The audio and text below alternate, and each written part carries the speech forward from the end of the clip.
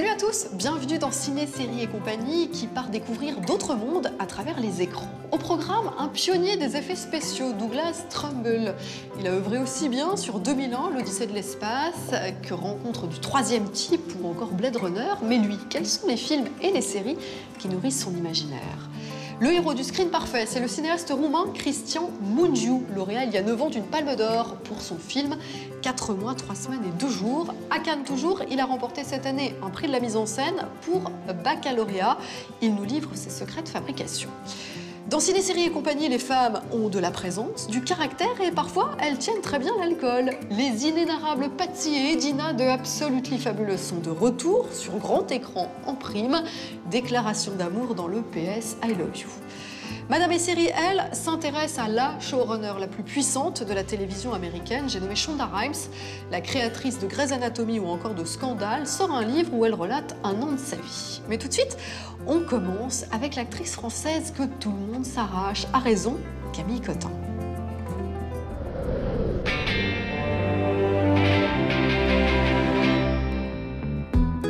Elle a débarqué telle une tornade à la télévision en incarnant une connasse, titre provocateur de ce programme humoristique où elle osait tout ou presque en caméra cachée. Depuis, Camille Cotin est partout et qui s'en plaindrait? Cette comédienne aussi douce à la ville qu'autoritaire à l'écran, en témoigne son rôle d'agent de star dans la série 10%, s'affiche dans pas moins de 4 films dont le délicieux Cigarette et chocolat chaud, où elle incarne une assistante sociale chargée de remettre dans le droit chemin un père peu conventionnel incarné par Gustave Kerverne. Monsieur Patard, comment on gère l'argent dans cette maison? On gère comme on peut. Par exemple, bah, le samedi midi, bah, on va au supermarché et puis on pique-nique dans les rayons. C'est malin. Malin, oui, c'est le terme approprié.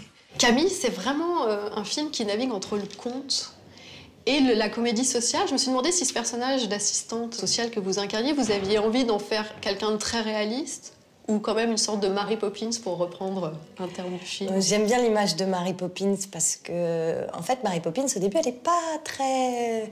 Elle n'est pas euh, joyeuse, chaleureuse avec les enfants, elle leur veut du bien, mais elle. Oui, elle est très Elle est assez stricte, ouais. elle est cadrée, elle pense que l'épanouissement passe par la discipline. Mais. Euh, après, euh, je pense qu'elle est malgré tout réaliste, puisqu'elle est quand même au début un vecteur de réalité, d'une réalité qui n'est pas drôle. Le stage parental permet de rappeler aux parents défaillants les obligations qu'implique l'éducation d'un enfant. Donc ce dispositif juridique va vous permettre d'améliorer vos compétences d'éducateur. Sophie Rennes, la réalisatrice, raconte que vous veniez, je crois, d'avoir votre deuxième enfant quand vous avez tourné le film. Ça a dû influer, non Il y a d'ailleurs quelque chose de très, particulier. Ouais, après, c'est particulier parce que je pense que je pense que c'est pas évident en fait de, jouer euh, juste après avoir eu un, enfant. Euh, parce que notre corps est quand même un peu déjà pris. moi, je suis une comédienne assez physique, je pense la définition d'Artaud de dire que l'acteur c'est un sportif affectif ou un athlète affectif. Moi, ça me, ça me, convient bien. J'essaye de cérébraliser plus. Mais... c'est pas forcément nécessaire. moi, parce que le travail m'intéresse, donc je me dis, ah tiens, il faut que j'ai. Mais euh, voilà, donc c'était particulier. Euh, et puis c'est vrai que j'étais toute, euh, toute en envie de douceur et de câlin. Et de... Donc, euh, donc voilà, au début, il fallait un peu resserrer les boulons pour retrouver... Ouais, parce qu'au début, elle était un peu plus raide. Bottes, Oui, un peu, plus, un peu plus intransigeante. Mais Gustave, il a eu une image mignonne. Il disait, bah, c'est comme le catch, en fait. Elle a un masque qui fait peur, elle a un masque de méchante, mais c'est pas vraiment une méchante. Mais voilà, il y avait un truc où il fallait qu'elle le réveille, ce papa, quand même. Qui veut essayer? Vas-y, tu me lâches, je sors, je te dis, je sors. T'es pas mon père. Je comprends très bien ton besoin d'exprimer ton ressentiment, tu sais. Moi, je sors. Non, rien à foutre. non, on peut communiquer. C'est hein bien, c'est très bien. T'as un baltringue, je te dis. Parle pas comme ça à ton père. T'es rien. Je, t'en foutre une, moi, tu vas voir. Non, non, non, non retenez-vous. C'est ridicule. Non, c'est pas ridicule, ça donne de très bons résultats, mais faites un effort. Pas de doigts. Vous êtes vraiment l'actrice de l'année? J'espère plein d'années euh, qui vont suivre. Il y a euh, Cigarettes et chocolat chaud, vous êtes à l'affiche d'Iris de Jalid Lesper. Nous sommes de la brigade criminelle, c'est nous qui sommes chargés de l'enquête. Vous offrez votre voix à l'héroïne de Ballerina. Vous jouez dans Allier de Robert Zemeckis. Comment vous vivez ce moment Comme quelque chose de mérité Quelque ah chose qui vous laisse un peu, qui vous laisse un peu perplexe? Non, non, je, suis, très contente. Euh, je suis hyper, hyper contente. Je suis une boulimique de travail. Donc, du coup, je, suis très épanouie quand, quand, je peux explorer plein de choses et, et travailler. Et, euh, je découvre un peu l'industrie du cinéma. C'est nouveau parce qu'avant, j'étais beaucoup, beaucoup au théâtre. Donc, euh, je, je, mesure ma chance de. Voilà, de, de, de, de travailler déjà. Alors, je l'aurai jamais, ce rôle. Si tu l'auras, tu as dans le cœur quelque chose qu'elle n'aura jamais. La passion.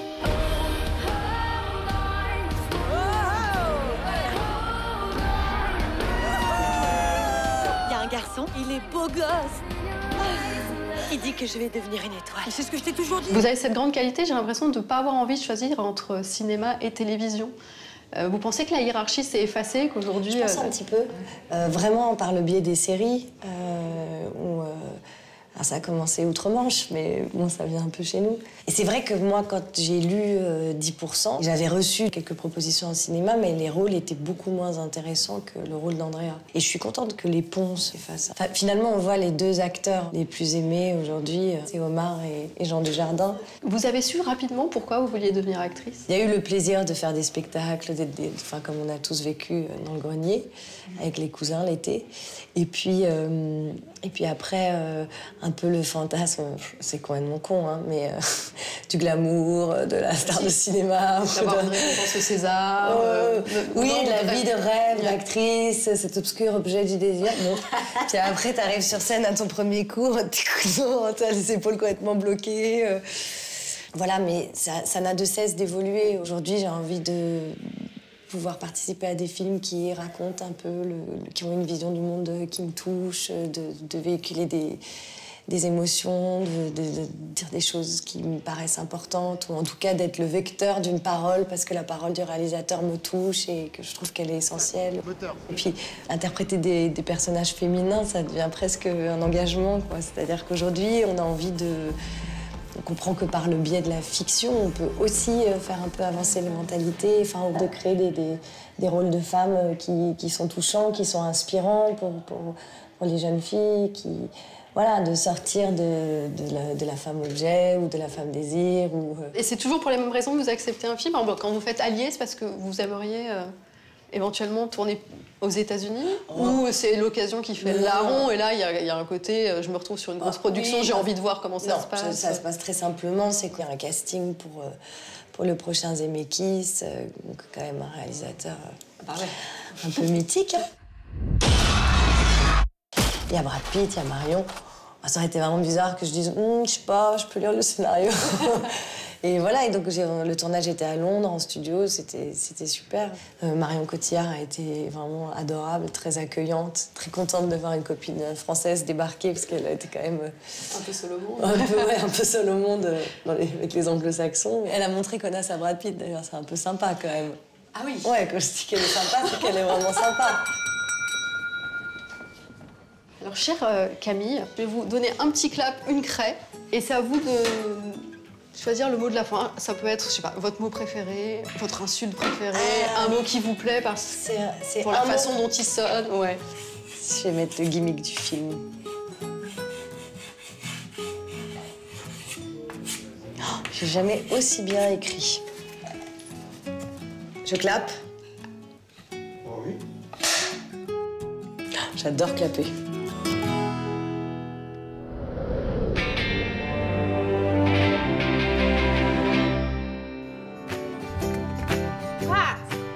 Chère Jennifer Sanders et Joanna Lumley, chère fabuleuse Edina et Patsy, quelle émotion 25 ans de Botox et de cocktails Stoliboli après vos premières apparitions dans l'inénarrable série britannique Abfab, vous voilà dans le film adapté de vos incartades, fraîches comme au premier jour.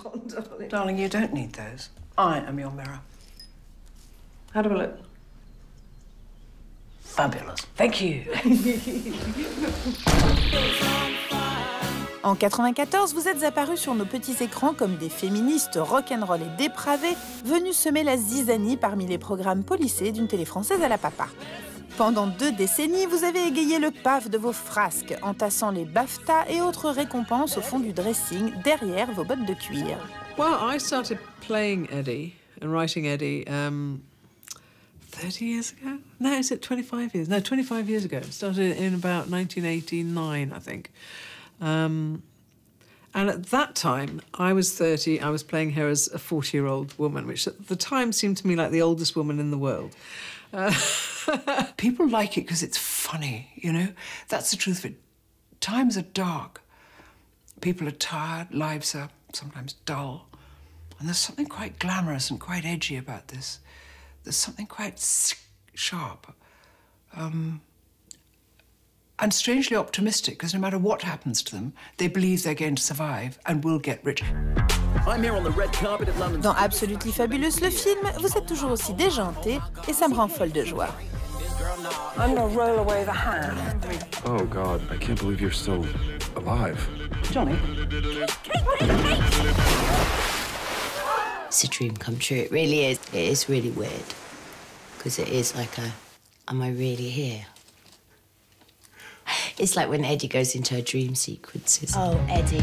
Kate Moss est donc dans la place, mais aussi John Hamm de Mad Men, Hi, Johnny. Barry Humphries, John Collins, Chris Colfer de Glee, You're trending on Twitter. You're a hashtag. la trash humoriste Rebel Wilson ou encore la styliste Stella McCartney. Hi, sweetheart. Is your father with you? Is little Paulie with you? No.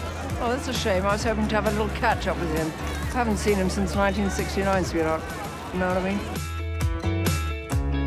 It is a, a sort of parody of that kind of world, but I think people like to laugh at themselves and like to not take it too seriously. They're people who have a real, real sense of the ridiculous, as well as you know being massive in that industry. People in the fashion industry love that. I think it's, you know, it's brutal, but that the fashion industry is brutal. It is exactly like, it's not really, some of it is so um, spot on.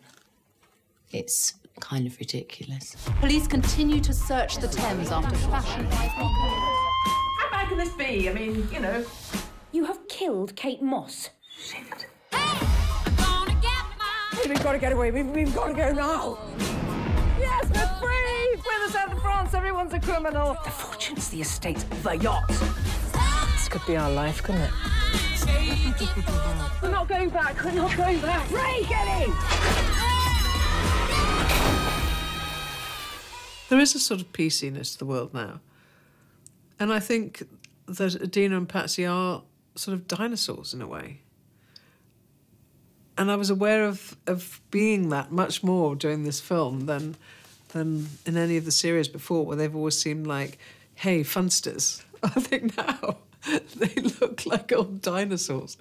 And they feel like, oh, they feel, they, they've, they're just losing it slightly. It's also got a lovely following of good old girls in this country will go out and they come up and say, I dress as Patsy and she dresses as Adina. We go out with our bottles and you go, and they go, we mix this and you go, oh, don't mix them, don't mix them. We just say that on television.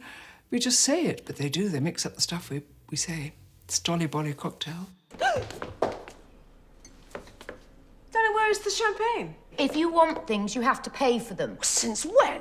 Sounds as though you're going to have to tighten your belt, dear. Oh. If you manage that, it'll be a first. Don't let her eat anything, darling, while she's here. All right? No eating. Eddie, what are we going to do about the champagne? I mean, uh, just being Eddie and Patsy to me is just, it's, it's like a kind of mi mindfulness. it's like if I could just, oh, if I could just do Eddie and Patsy for 10 minutes a day, I'd probably be absolutely sorted, you know, because you'd get out all that laughter and all that angst and all the things you actually want to say and never allowed to say. And then you could just continue on in a cloud of loveliness. It mostly just says blah, blah, blah. Oh my god, 10 minutes par jour pour faire pipi sur la moquette en disant des gros mots, le rêve de ma vie. Pour moi, cher Eddie, cher Patsy, vos frasques enfin au cinéma, c'est vraiment Noël avant l'heure. Alors merci d'exister et de prouver au reste du monde que la femme en a. Thank you, darling. Merci.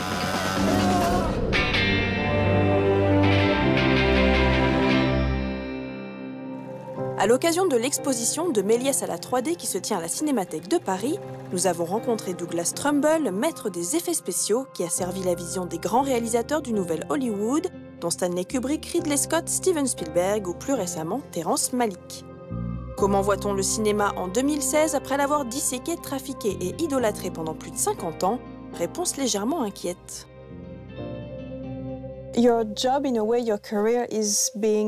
In between a magician, a craftsman, a scientist, an inventor. How would you define what you do?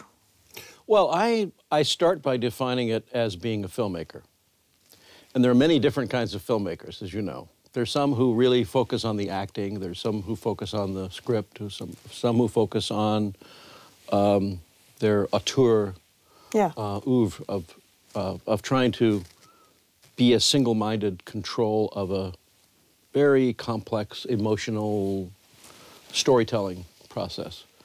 And my own uh, process is experience making which is to create some environment or some situation or some um, visual spectacle that goes beyond the, the normal conventions of our everyday, everyday lives. How do you deal with the idea of limitation? Well, I was, I was very fortunate as a young man to work for Stanley Kubrick, who was a very visionary filmmaker, but who was also very determined to challenge convention and he said, if everyone's doing that, I'm going to do that. And so anything that came up, any scene, every design, any miniature, any set, any camera, he said, no, I want to do it differently. That turned out to be what I, my skill is, one of my skills, which is kind of engineering and science technology, uh, which is to build on the history of cinema, which is very technological I mean, cinema is not painting, it's not poetry, it's not literature. It's an art form that's based on the technology of film and cameras and lenses and lights and photographic technologies that support this cinematic storytelling form.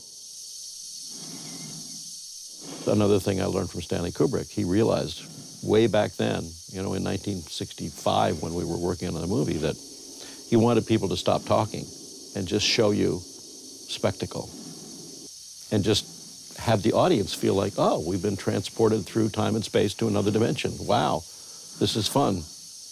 And oh, it's really weird. I don't understand it. And so people think about it over and over. And it's enigmatic.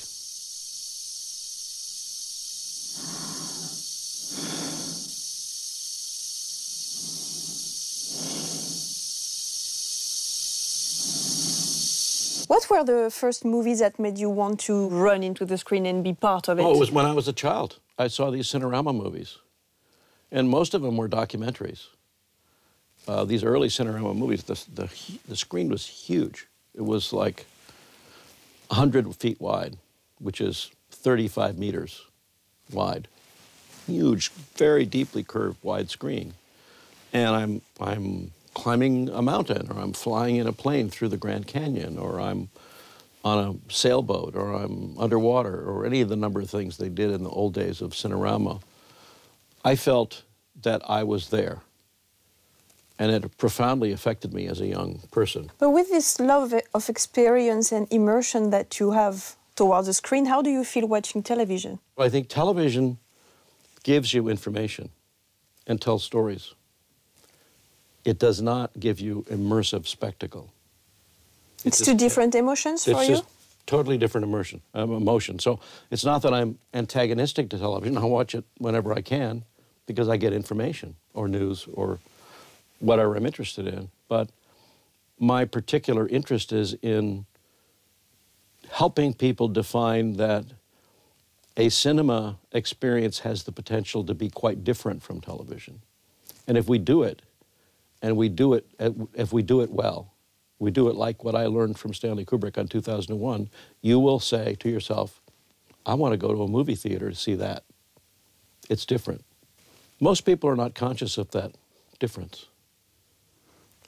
New generations, maybe, because we've grown up with this, like you say, this balance being made so close from TV to cinema that we, we watch Game of Thrones, we're like. Exactly. We think, oh, it's fantastic. You know, the special effects are great, the performances are great, the lighting is great, the photography is great. It's great, you know, it's really interesting. I feel a responsibility that cinema must deliver something better and different from television. I see a problem developing, at least in the United States, where movie attendance is starting to decline. Is it painful to you to, to think of empty theaters and people staying at home? Yeah, I think it's shocking. The attendance is so low that's it's running at like 10% or 8% or 12%. And so most of the seats are empty. And so they take out half the seats, more than half the seats, and replace them with these big lounge chairs and tables, and they're serving food and wine and other things that are interrupting the cinema experience, but somehow people want the comfort of home. They want food service and things, and the cinemas are stuck with this problem of using food and beverage, as they say, to make their bottom line, to make their revenue, because they're not making their revenue on the movie itself. Do you think it might be the reason why Martin Scorsese, Steven Spielberg love working on television? Now there was, you know, Band No, of Brothers. I don't think they love working on television. Oh, really? No. The passage of the 18th Amendment has given rise to a new breed of criminals. They have no alternative. They see that the audience is moving from the theater to the television. And they're also seeing that there are tremendous benefits to episodic storytelling, where you can really much more fully develop a character over a series. And a lot of directors really feel fulfilled by that. And it's true. It's great. I'm not saying there's anything wrong with that. It's very, very good. But my particular personal interest is in uh, creating an alternative to television. The younger audience today have never seen Cinerama, have never seen 70 millimeter. They don't know what they're missing. And so it's time, it's not like I'm trying to bring back the past, because I don't. I want to bring back the future. Pour ramener le futur, Douglas Trumbull prépare un film de science-fiction qu'il promet grandiose et immersif. Aucune date de sortie pour le moment, mais on vous tient au courant.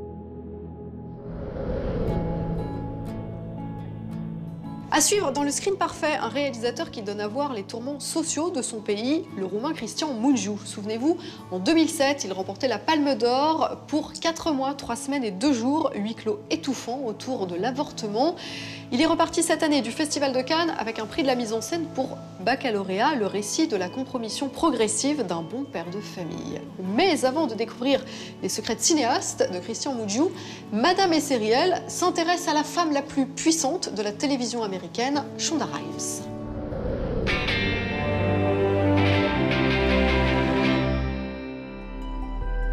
Cette semaine, Madame et Série écoute les conseils précieux de celle que le Hollywood Reporter considère comme la sauveuse de la télévision américaine, Shonda Rhimes. Depuis le lancement de Grey's Anatomy en 2005, la scénariste et productrice fait chialer le monde entier semaine après semaine et accumule les succès au point que la chaîne ABC lui consacre sa soirée la plus prisée pour ses fortes audiences le jeudi soir. Cela fait deux ans que ces séries phares comme Grey's Anatomy, Scandal, Murder ou The Catch y sont diffusées l'une après l'autre, soutenues par le slogan en forme de cri du cœur Dieu merci, on est jeudi. In one way or another, this TV season, I'm responsible for bringing about 70 hours of programming to the world.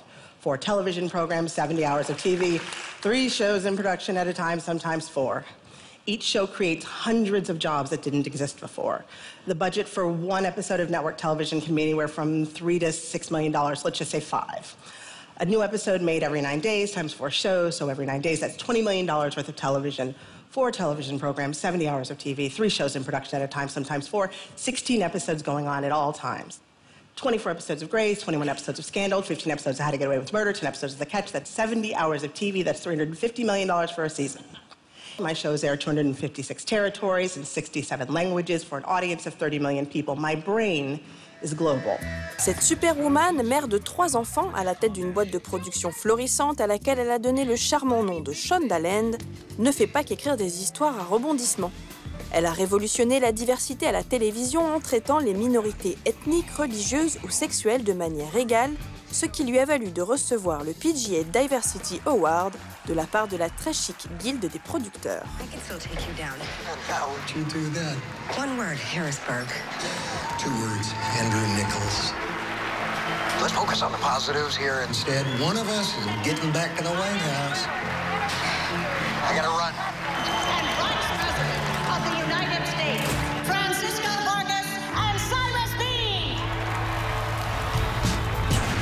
Quand Kerry Washington, l'actrice principale de Scandale, a été nommée dans la catégorie meilleure actrice dans un drame aux Emmy Awards en 2013, c'était la première fois depuis 18 ans qu'une actrice afro-américaine avait cet honneur, et ça, c'est grâce à Shonda. Conquérante, courageuse, audacieuse, la showrunneuse a tout pour être heureuse, et pourtant.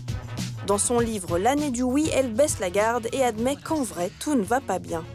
On peut même dire que tout allait très mal avant qu'elle ne décide, le jour de Thanksgiving 2013, d'écouter la remarque que lui fait sa sœur Delors. Shonda dit toujours non. Delors en a marre, ses amis en ont marre, ses enfants en ont marre. I have helped you. I got you this job. I didn't have to. But you need me to help you do that too? Figure it out. Shonda prend alors une décision drastique, dire oui à tout pendant une année. Ça commence par un oui à ce qui lui fait le plus peur au monde, parler en public. Elle s'est alors retrouvée à donner le speech de fin d'année devant des milliers d'élèves du Dartmouth College, son ancienne université du New Hampshire. Giving a speech requires standing in front of large groups of people while they look at you, and it also requires talking. I can do the standing part okay, but the you looking and the me talking, I am not a fan. Le oui d'après, c'est celui grâce auquel elle écoute enfin son corps. Un corps laissé de côté pour se concentrer sur son cerveau et sur lequel les kilos se sont accumulés. In a few minutes, you'll have some people coming up here. Mhm. And you up under these covers looking like who shot John? Girl, get up and get in the shower. Mama. What's wrong with you? You stupid? You think we won't have a little get together when we do your back? Get in the shower, Anna May. I said, get in the shower. Résultat, elle a mal aux articulations, a le souffle court et ne se sent vraiment pas bien dans sa peau. 50 kilos de perdu plus tard, celle qui n'a jamais eu de mal à se faire entendre et respecter se sent désormais invincible. Mais ce regain de force n'est pas uniquement dû à sa reprise de contrôle sur son corps. Elle le doit à un oui en apparence anodin qui s'est avéré primordial le jour où sa fille lui pose une question toute simple. She says, Mama, wanna play? And I say yes. There's nothing special about it. We play, and we're joined by her sisters, and there's a lot of laughing, and I give a dramatic reading from the book, Everybody Poops. Nothing out of the ordinary. And yet, it is extraordinary because in my pain and my panic, in the homelessness of my homelessness, I have nothing to do but pay attention. I focus. I am still. The nation I'm building, the marathon I'm running, the troops, the canvas, the high note does not exist. All that exists are sticky fingers and gooey kisses and tiny voices and crayons and that song about letting go of whatever it is that frozen girl needs to let go of. Anytime my child asks me to play, I will say yes. I make it a firm rule for one reason to give myself permission to free me from all of my workaholic guilt. It's a law, so I don't have a choice. And I don't have a choice. Not if I want to feel the hum. Alors voilà, Shonda Rhimes a dit oui à tout et sa vie a été chamboulée. Elle travaille mieux, elle aime mieux, elle rit mieux, elle rayonne. La perfectionniste workaholic est devenue une perfectionniste qui profite de la vie, une femme forte, unique, sûre d'elle, en d'autres termes, une badass. Et la badasserie, c'est quoi? La badasserie, c'est aussi se relever après chaque coup dur en sachant que ce n'est pas le dernier, comme le font ces personnages épisode après épisode.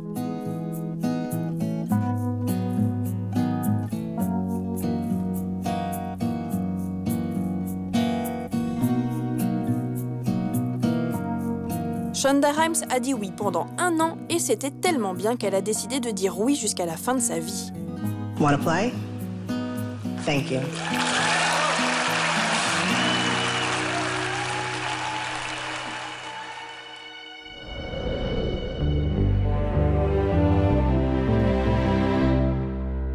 Après une palme d'or en 2007 et un prix du scénario en 2012, le cinéaste roumain Christian Mungiu est reparti de Cannes en mai dernier avec le prestigieux prix de la mise en scène pour baccalauréat. Entre satire sociale et polar, cette histoire nous plonge au cœur d'une question que sommes-nous prêts à sacrifier de nous-mêmes pour nos enfants? Une question de compromis et de mise en scène. Bonjour Christian Mungiu. Bonjour. Je suis Stéphane Charmy. Je suis venu prendre une leçon de mise en scène. Je vais vous demander euh, quelque chose qu'on ne voit jamais et que spectateurs, nous, nous aimerions découvrir. C'est un réalisateur au travail. Est-ce que vous pourriez mettre en scène notre interview? Pour moi, en caméra, ça suffit toujours parce que je continue à tourner un plan séquence. Alors, vous avez déjà trop de caméras. Euh, pour moi, c'est important toujours de trouver ces points de vue uniques que nous avons dans la vie. Alors, j'espère qu'on peut l'utiliser, par exemple, ces caméras, qu'on s'assoit ici et que ces caméras va tranquillement suivre ce qu'on va parler. În septembrie ar fi să înceapă facultatea în Anglia. Fără bac pierde plecarea, tu ești inconștientă? Doar nu să-și bate joc de atâta muncă pentru că s-a întâmplat accidentul ăsta. Tu crezi că un viol e un ochi? Dar n-a violat-o. Toate la bună că el te ajuta. Asta e singura cale. Pe o mică e pentru copilul tău. En mai dernier, au Festival de Cannes, vous avez reçu le prix de la mise en scène. Qu'est-ce que c'est pour vous la mise en scène? C'est un outil euh, que tu utilises pour vraiment avoir un point de vue sur le cinéma et pour utiliser le cinéma pour avoir un point de vue sur le monde en général. Votre personnage, Roméo, euh, il est confronté à une situation où il doit faire un compromis. Est-ce que c'est la même chose? L'art de la mise en scène, c'est l'art du compromis. Et jusqu'à où le compromis est acceptable et quelle est la limite du compromis Quand tu décides de tourner un plan séquence, euh, c'est déjà une façon d'éviter euh, les compromis que tu fais parfois dans la mise en scène. C'est une façon très radicale de dire que je veux, qu'on veut, les gens qui travaillent comme ça, on veut éviter la plupart des décisions que tu prends parfois comme réalisateur qui euh, dit euh, au spectateur qu'il y a quelqu'un de l'autre côté de l'appareil.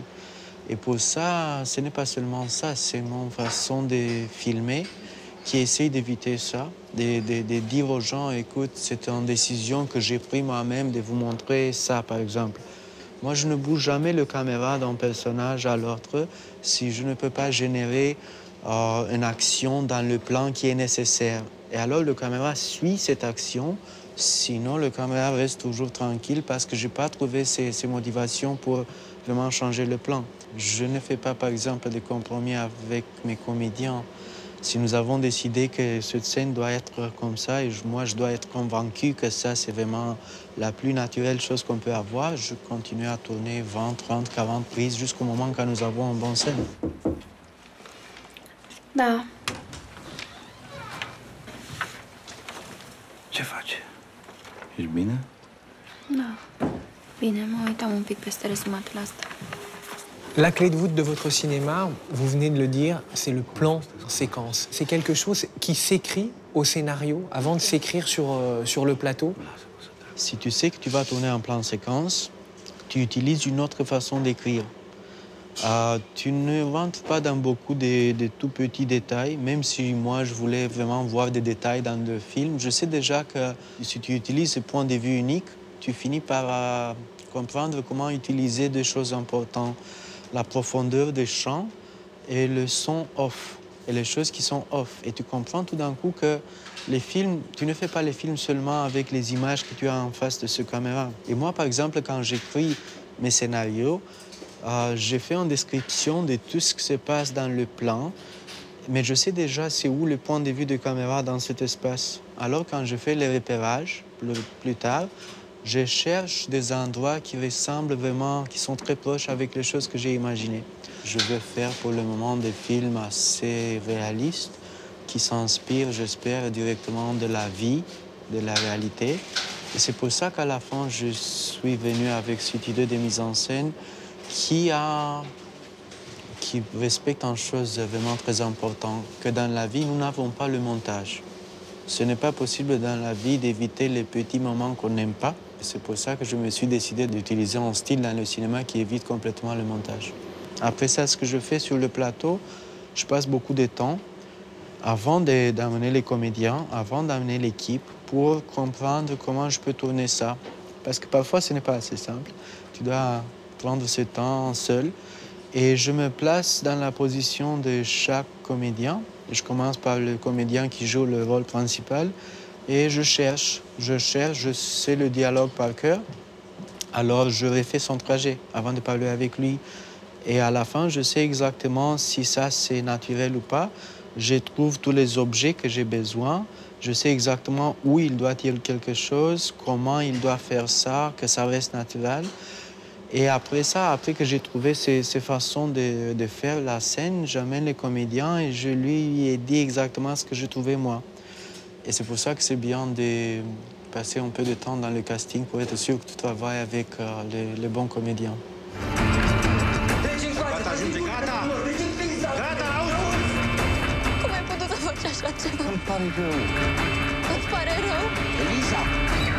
Le film est beaucoup plus grand que ce que tu montres. Il y a beaucoup de choses dans mon film, par exemple, qui se passent euh, seulement au niveau son. C'est cette scène que j'aime beaucoup, quand il euh, revient chez lui pour parler, parler avec sa femme. Et avant de venir euh, dans l'image, on regarde, on voit sa femme dans sa chambre à lui et on entend comment il vient. On entend une voiture, on ne sait pas si c'est sa voiture à lui ou c'est quelqu'un d'autre. Et après ça, on entend quelqu'un qui arrive. Et après ça, on voit que c'est lui.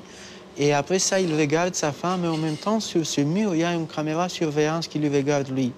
C'est un- une scène où je, n'ai pas besoin de dialogue pour parler de quelque chose que, à la fois, j'espère que ça reste un peu ambigu et complexe. Christian Munjou, pourquoi filmez-vous? Ouais, ça, ça, ça, c'est compliqué. euh. Je filme parce que je suis euh, toujours curieux de découvrir, euh, découvrir ces, ces mécanismes fictionnels de la réalité. Je trouve que c'est très intéressant quand tu euh, amènes la réalité dans tes films parce que ce n'est pas vraiment la réalité, c'est un mécanisme fictionnel, mais ça me donne la liberté de mieux comprendre ce qui se passe à côté de moi. Je trouve ce plaisir de vraiment mieux comprendre les choses et ce plaisir de travailler avec euh, euh, l'équipe et avec les comédiens pour rendre ce, ce, ce sort de vérité pour le spectateur.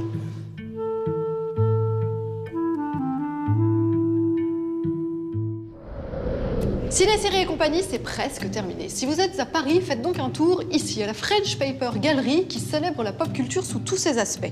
En s'intéressant notamment à un projet inabouti d'Alejandro Jodorowsky, qui, quelques années avant David Lynch, essaya d'adapter le roman culte Dune. Le récit de cette tentative fait l'objet d'un documentaire, mais a aussi inspiré toute une série d'artistes. Prochaine exposition à venir, les femmes dans l'univers DC Comics. En attendant, le conseil d'amis de la semaine, c'est de ne pas manquer en salle Premier Contact ou quand le réalisateur canadien Denis Villeneuve s'essaye à la science-fiction. There are days that define your story beyond your life. Like the day they arrived. Dr. Baines, right this way, please. You are on the top of everyone's list when it comes to translations. Priority one. What do they want? Where are they from? Not everyone is able to process experiences like this. What happens now? Pas de spectaculaire ici, la SF selon Denis Villeneuve est contemplative, voire métaphorique et mêle le drame intimiste à une réflexion sur notre rapport au temps. Bref, l'auteur d'Incendie, Ennemis et Sicario confirme qu'il est vraiment l'un des cinéastes les plus passionnants du moment. Ça y est, Ciné Série et compagnie, cette fois-ci c'est vraiment fini, mais on se retrouve dès la semaine prochaine pour de nouvelles aventures. Salut